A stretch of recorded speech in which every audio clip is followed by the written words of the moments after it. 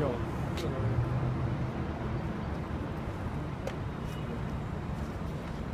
Thanks, pal. Talk tomorrow. Take care.